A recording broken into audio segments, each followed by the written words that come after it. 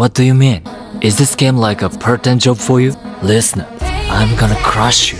Your little Japanese sightseeing trip is gonna turn traumatic.